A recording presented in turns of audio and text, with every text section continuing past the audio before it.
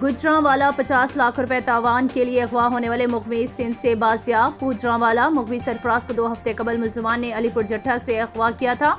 मुखवी से तावान मांगने वाले मुलजमान ताहाल गिरफ़्तार ना हो सके।